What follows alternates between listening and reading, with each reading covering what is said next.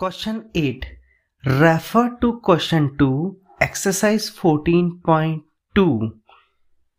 What is the empirical probability that an engineer lives? देखिए आपको क्या करना है एक्सरसाइज 14.2 प्रीवियस चैप्टर की और वहाँ पे क्वेश्चन नंबर टू उस क्वेश्चन नंबर टू से हमको ये प्रोबेबिलिटी निकालनी है ठीक है तो मैं आपके सामने question two exercise fourteen point two, उसकी पिक्चर शो कर रहा हूँ। आप स्क्रीन पे देख सकते हैं। तो अब क्वेश्चन कैसे हो जाएगा, मैं उसको उस हिसाब से रीड कर रहा हूँ। अब देखिए, the distance in kilometre of forty engineers from their residence to their place of work were found as follows.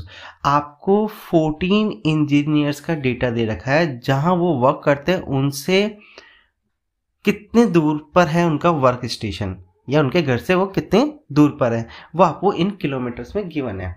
तो what is the empirical probability that an engineer lives first less than seven kilometre from her place of work पहला है कि जो अपने सात kilometre के कम distance पे रहते हैं। जहाँ वो काम करते हैं। सेकेंड मोर देन और equal to seven kilometre from her place of work जो जहाँ वे काम करते हैं, वहाँ से वो या तो सात किलोमीटर या सात किलोमीटर से ज़्यादा डिस्टेंस में रहते हैं वो। Third within half kilometre from her place of work और जो अपने वर्क प्लेस से विद इन हाफ़ किलोमीटर के अंदर रहते हैं, वो उनकी प्रोबेबिलिटी आपको फाइंड आउट करनी है। क्वेश्चन आपको समझ में आ गया? आते हैं इसके सॉल्यूशन पर। सॉल्यूशन एट सॉरी देखिए total number of engineers how much is given in the question forty आप स्क्रीन के ऊपर पिक्चर आ रही है, उसमें भी शो कर सकते हैं।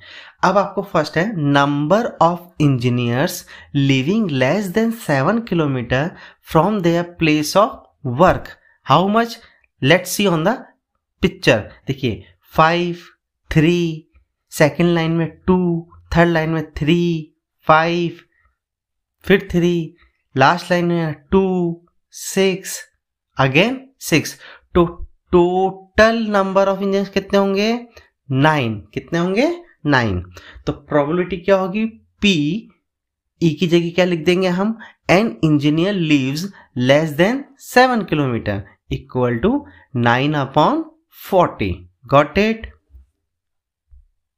Second, number of engineers living more than और equal to seven kilometre from their place of work अब बताना है कि जो सेवन किलोमीटर या सेवन किलोमीटर से ज़्यादा डिस्टेंस पर रहते हैं, वो कितने नंबर ऑफ़ इंजीनियर हैं? आप चार्ट में देख सकते हैं।